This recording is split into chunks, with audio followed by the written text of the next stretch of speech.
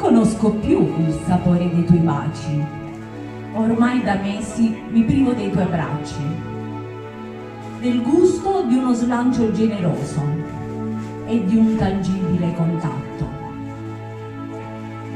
Ma stanotte non prendevo sonno e mi sono fermata a guardare meglio il tuo viso.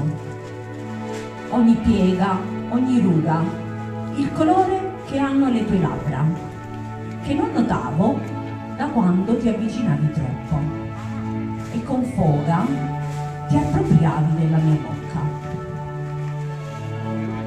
Non è proprio un gran baciarsi con una mascherina.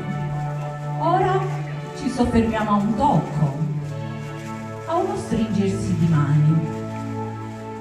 Non chiudo più gli occhi dal desiderio, non brucio più al tocco della tua pelle non ci strofiniamo perché è pericoloso.